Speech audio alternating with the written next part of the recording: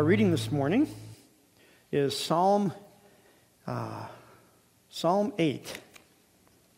And Psalm 8 reads, O Lord, our Lord, how majestic is your name in all the earth. You have set your glory above the heavens. From the lips of children and infants you have ordained praise, because of your enemies, to silence the foe and the avenger. When I consider your heavens, the work of your fingers, the moon and the stars which you have set in place, what is man that you are mindful of him? The Son of Man that you care for him? You made him a little lower than the heavenly beings and crowned him with glory and honor. You made him ruler over the works of your hands. You put everything under his feet all flocks and herds and the beasts of the field, the birds of the air and the fish of the sea, all that swim in the paths of the, of the seas. O Lord, O Lord, how majestic is your name in all the earth. All right, we have um, our next monologue here. I, I hope he's ready, and we'll be here in just a second. There we go. There we go.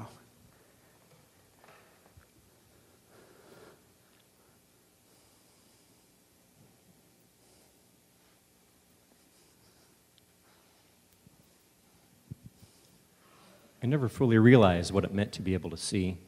I walked in darkness every day, having been born blind. Spent most of my days begging for alms. There wasn't much else for a blind man to do. People looked down on me because of my blindness. I overhear remarks, you know, it's his fault he was born blind. He must have committed some horrible sin or because of his parents. What did they do? Made me feel like dirt, like mud. I suffered in silence. Some days I felt blind in more ways than one. I had no idea what the future would hold. It seemed I had no purpose in life except to be here as some sort of punishment for some sort of unknown sin. But then Jesus saw me, and what he said and did next changed my life forever. It was an ordinary day. I had taken up my usual spot in the city gate, and a steady stream of people walked by, many ignoring my pleas and my open palm. I heard a small group approaching and heard the familiar question Rabbi, who sinned, this man or his parents, that he was born blind? I prepared myself for the humiliation for another biting remark, but the response surprised me. Neither this man nor his parents sinned, but this happened so that the works of God might be displayed in him. What? I was born so that God's work might be displayed through me? I heard the gasps, the questions, and then I heard someone spit in the ground. What was going on? And then someone touched me, smearing something all over my eyes. It was mud. It was him. It was Jesus. How he spoke with such authority as he bathed my eyes with mud. Go, he told me, wash in the pool of Siloam. I went. I didn't know what to expect, but he said that God had a plan. Those were the words of hope I had never received before. Of course, I would go. When I came up out of those waters, nothing could have prepared me for what happened. Light filled my vision. I could see. I could see. I knew right then that Jesus had a, must be a prophet sent from God. I wanted to learn from him, to be his disciple. Nothing would keep me from declaring his praise, even when it meant being driven from the synagogue. And then Jesus stood before me and asked, Do you believe in the Son of Man? Who is he, sir? I asked. Tell me, so that I may believe in him. He spoke. You have seen him, in fact. He is the one speaking with you. I fell before Jesus in worship. Lord, I believe. I believe. Thank you.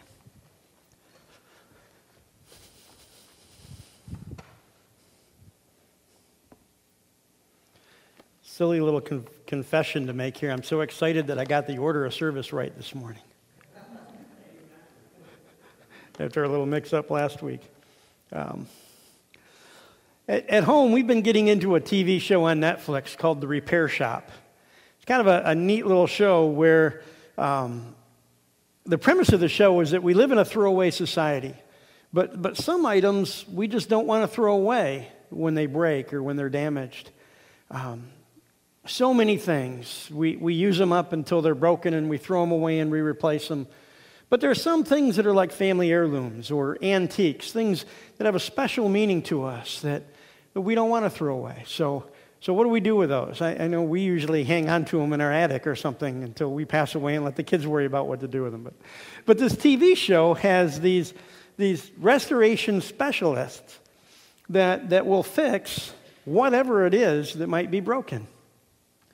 Uh, it's, it's filmed in the Weald and Downland Living Museum in Sussex, England, and it's, it's really cool. They have a barn out behind the museum, and, and in the barn, they have all these workstations set up for the various restoration specialists. And it's, it's really interesting to, to, to watch the show as it, as it goes through. Somebody will bring in an item that's been damaged, that's been in the family for generations, and they share the story of how that item came to be in the family and, and why is it special to someone. And, and then they'll, uh, the show walks through the restoration process. How do they actually repair it? Because some things are really fascinating. Um, and, and then they show at the end when it's working fantastic, and they, uh, they, they show the reunion with the, with the people that brought it in. Uh, and they get to see for the first time that thing that means so much to them that they thought was ruined forever, looking next to new again. Uh, it's really an interesting show. They've, they've tackled projects like antique vases. Uh, apparently, Picasso used to do ceramics before the painting or during the whatever, but they had a Picasso vase there one time, and the person had no idea that that, that was a Picasso work. They just knew it's been in the family for generations, and, and it had fallen off the mantle, and they, they came to see if they could get it fixed. And uh, it was kind of interesting to hear about that story. Um, but it's really interesting. Um, one week there was a valuable painting that was hanging on the wall, and they had a recliner in front of it, and an end table, and a, and a lamp. And somehow, when the guy reclined, uh, a lamp had fallen into the picture, and, and there was like a 10 inch tear in this picture. And it was special to him because it was his grandfather's and his grandfather had spent a lot of time in sea. That's, that was his occupation. He was um, worked in some of those ships and, and things, and, and this meant a lot to him. And the picture was this deep sea fog, this pea souper, they called it, this pea soup fog. And, and there was the kind of the outline of the big ship in the fog, and then there's these two guys sitting in a rowboat going out to the ship. And, and they, they cleaned up that picture really good, and she repaired the rip, and you'd never know it was ripped. Um, fantastic job that they did. Um, that's kind of typical of the work that they do. It could be, could be ceramic piece, a teddy bear handed down. There was, there was one week there was a, a teddy bear that, uh, that this person who was now in her 70s or 80s, uh, her grandmother, the story behind this was that her grandmother had that in a concentration camp during the Second World War and, and as a little girl in a concentration camp. Fortunately, the war ended before, uh, before she was killed, but, um, but she saw her parents go into a gas chamber and never come out again. So um, that little teddy bear was with her every day at that time and, and meant so much to her grandmother. And now the, the, the lady, the granddaughter, is in her 80s and having this teddy bear. Um, all she has of her grandmother in a concentration camp, and, and it was neat to see the care that they take because hearing the story, it's not just a teddy bear anymore. It, it has that sentimental value. And the people restoring that uh, can, can, can get a, a, glimpse of that value, and they, they really take good care of it uh, to bring it back to life. Now, last week, we're in the second Sunday of Lent, and, and last week, if you remember, we looked at Genesis chapter 2, and we saw how Adam was in the garden and he could eat from the fruit of any tree in the garden except the fruit of the tree of the knowledge of good and evil. And, and of course, they were deceived into eating that fruit, and, and a curse followed. And a part of that curse was death, both spiritual death, which happened immediately, and physical death, which happened later. But there were, there were other parts of that curse too. And, and no part of life was left unchanged for Adam and Eve. That changed everything. Uh, suffice it to say uh, that it created a major rift, a major tear in the relationship between God and man, a, tear that's still there today. But the question is can it be fixed? Can it be fixed? Can we be restored to original condition? And, and I think to look at that question, we're going to take a peek at, at why we were created in the first place. Why is it? Um, what, what does it mean to be human?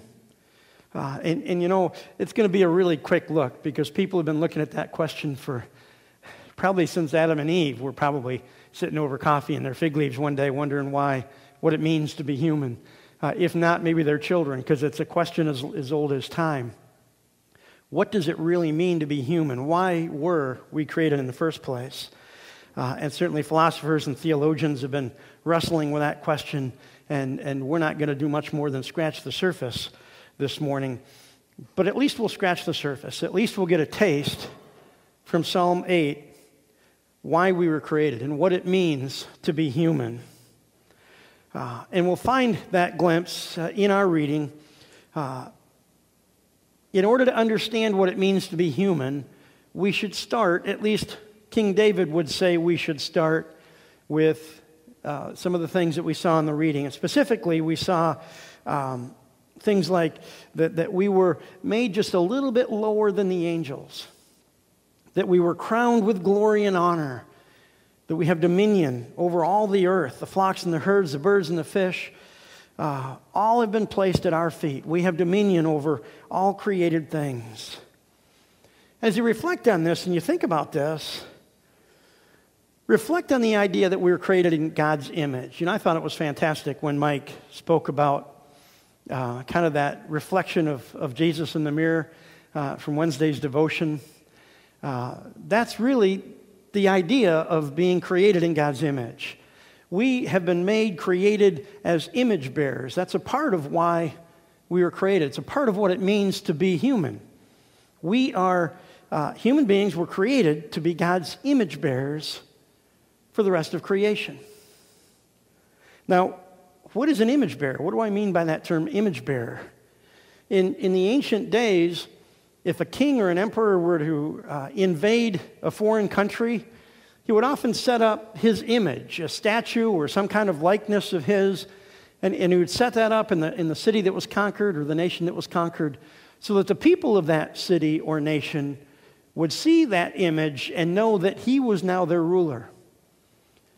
Kind of that image of the king. I don't know if you've ever seen this, but I've seen this in, in communist countries In fact, I think I got a picture of, um, yeah, that's in China. A huge image of their, keep walking into that. I should walk over here. Huge image of their emperor in a public square. And I've, I've seen that several times. So apparently, in several cities in China, they have these huge portraits, I guess, these huge images of, of their leader, their emperor. I've seen that in North, Carol, uh, North Korea and in Cuba too. So I, I, guess maybe it's one of those things we usually see in uh, communist countries. That's where I've noticed it the most. I think we Americans would really freak out if we tried to do that here, put up huge pictures of President Trump in our public places. I think that would create quite a stir. That's, that's not in our culture to do that. It's not culturally acceptable. So um, I don't think it's going to happen anytime soon. But, but think with me for a minute that image of being a, a image bearer, God's image bearer, that's really a big part of Adam and Eve's role in the garden. They were to be, they were to be the testimony of God in the garden. All created things could look upon Adam and Eve and see God's justice, His mercy, His love through Adam and Eve. They were the image bearers. Back to Psalm 8, we see another reason why we were created, and that's uh, the very first verse says, O Lord, our Lord, how majestic was your name in all the earth. David is worshiping God. Augustine, who was probably the fourth, early fourth century, uh, Augustine of Hippo, for Leroy, he would know the difference, but uh, Hippo was a city in, in North Africa, and, and he was one of the leading uh, bishops in the day, one of the more powerful, more understanding Very intelligent, very smart person. Augustine was the one that came up with the idea of the, uh, uh, the Trinity. You know, it's, it's in the Bible, it's all over the Bible, but nowhere is it really put together in a cohesive way. So Augustine put that together and, and kind of talked about the Trinity in a way that we could hopefully better understand it. Um, he, he also said, he, he wrote at one point that, uh, that at the primary level, human beings are lovers. We relate to the world around us through love. And, and as we come together to worship, we're expressing our love for God. That's what worship is. We're expressing our love for God. Sometimes get off on a little side note. Sometimes I hear that people don't get anything out of worship. Well, we're not really worshiping you. We're, we're showing or expressing our love to God. So, as a side benefit, we often do get something out of it. But our purpose for coming together is to express our love for God. And we do that through worship. But then in verses 4, four through 6, uh, I'm sure you heard those, and I want to read those again because I sense a little bit of a, of a difficulty there. And he says, You made him a little lower than the heavenly beings and crowned him with glory and honor. You made him ruler over the works of your hands. You put everything under his feet. Now, as I was thinking about this last week, I, I have to admit that crowning us with glory and honor, that's not been my experience in life. Has that been your experience? Have you really felt the glory and honor of God as, as you live your life? To me, and, and maybe if you're a little bit honest with yourselves, if you're anything like me, uh, you, you'll admit that I often feel more guilt and shame than I do the glory and honor of God in my life. Um, don't we? Don't, don't we feel more guilt and shame than we do God's glory and honor? Um, as Paul wrote in, in, in fact, I'm going to turn to that really quickly here. In Romans chapter 7, Paul wrote, I know that nothing good lives in me. And this is the Apostle Paul. This is the guy that wrote half of the New Testament. He says, I know that nothing good lives in me, that is, in my sinful nature. For I have the desire to do what is good, but I cannot carry it out. For what I do is not the good I want to do.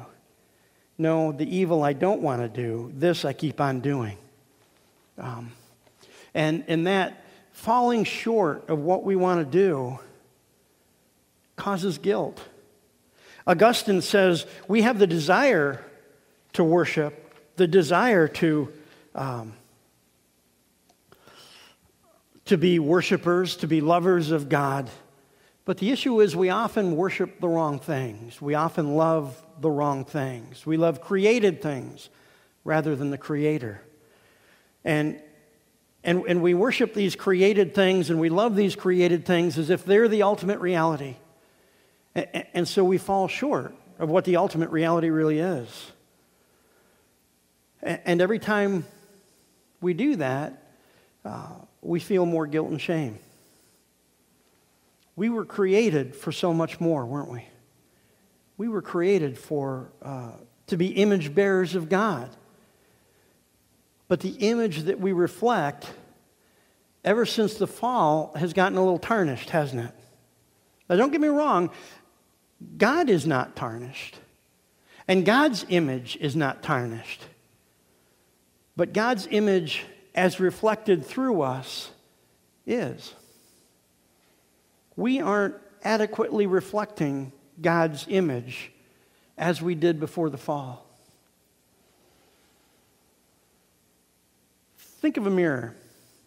A mirror represents or reflects whatever faces it, right? Whatever is turned toward it, that mirror will reflect. And originally, human beings were created in the image of God as, as if looking straight into a mirror.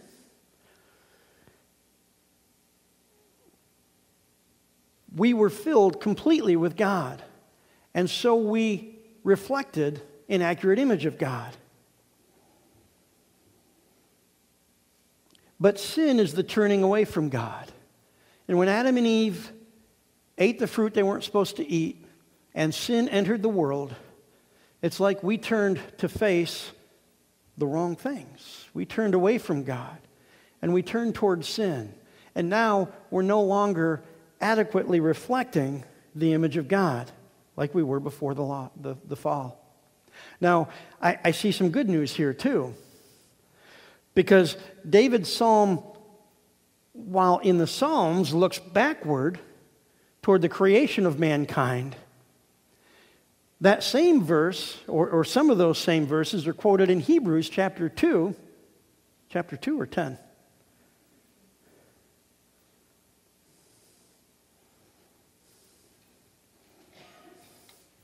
I'm apparently lost, so I'll just keep going.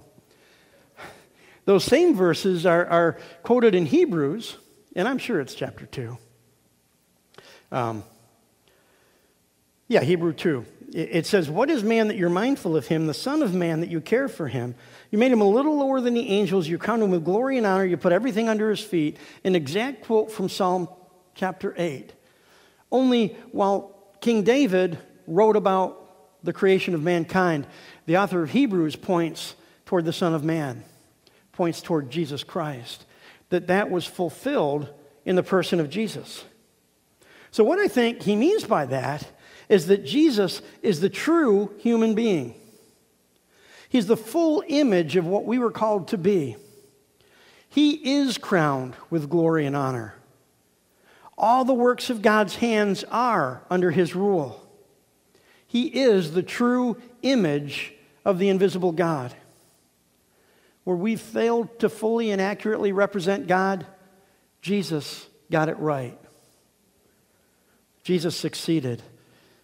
Jesus fully accomplishes the task or the calling that Adam and Eve were given in the Garden of Eden. So, where does that leave us? What do we do? In our broken state, in our tarnished godly image, what is there for us? What's left? Where do we go? We were originally created in God's image, but that image of God has been broken in us. We no longer perfectly reflect God's image. We need repair. And, and the repair shop, the TV show, doesn't have a specialist for that. So, where do we go? Well, in our monologue, Randy gave us an idea. The man who was born blind shows us where we go. The man who was born blind was broken. He needed healing, he needed restoration. Being born blind, he'd never seen a day in his life, he'd never actually seen anything in his life. Desperate for healing, but unsure where to go until he winds up at the feet of Jesus. And Jesus heals him. So, what do we need to do? We need to wind up at the feet of Jesus. And we need to ask for that same healing. We need to truly humble ourselves and come before Jesus to truly see our need for healing, and He will heal us. We were originally created in God's image but that image has become broken.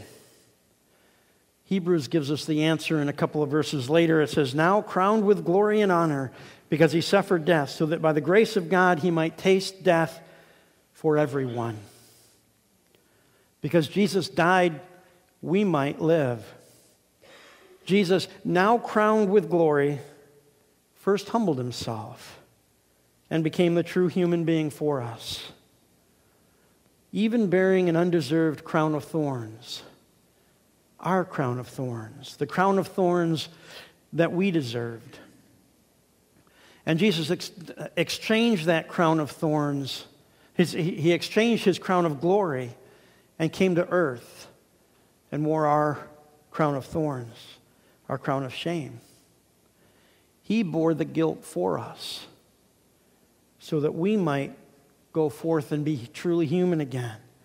That we might again put on the image of God, the image, become image bearers of God. That's what that verse means to be, um, to be clothed in Christ. That we might put on the image of God. We've all sinned, not just Adam. We've all been born in sin. Uh, that whole idea of original sin is a real thing. We experience the effects of Adam and Eve's sin.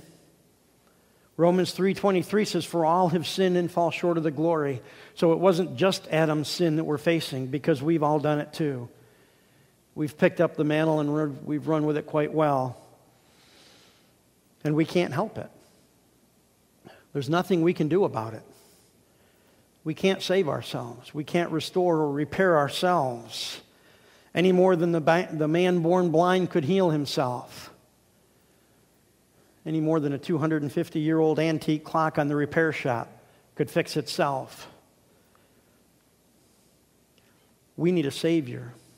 We need someone who can fix us. We need someone who perfectly represents the image of God. We need Jesus.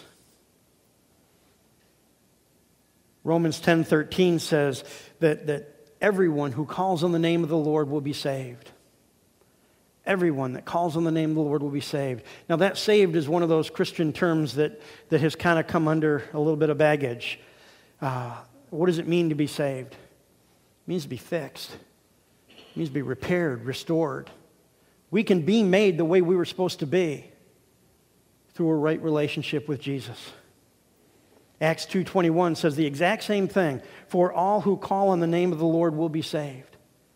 And a little bit later in verse 38 he says, um, repent and be baptized every one of you in the name of the Lord for the forgiveness of your sins. Repent, turn back to God, turn away from the sin and turn back to God. Believe in the name of the Lord Jesus Christ. Trust in him with your life. And you can once again reflect God's image, His love, His mercy, His righteousness, His justice. Unlike the clock or anything else on the repair shop, we can't be restored without our permission. I mean, you don't have to ask a clock if it wants to be fixed, right? We don't have to ask that for permission. But, but God has to ask us for permission to work in our lives. So we need to humble ourselves. And we need to ask the Lord to fix us. We need to give Him work, give Him permission to do that healing work in our hearts. We need to ask Him for that. And we need, we need to look to Him in all things that we might truly, once again, become His image bearers. Let's pray. Father God, we thank you for your Son, Jesus Christ.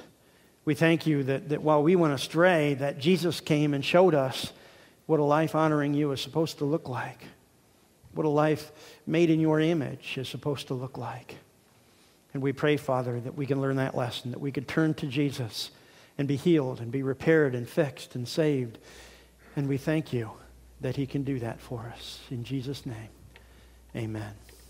Amen.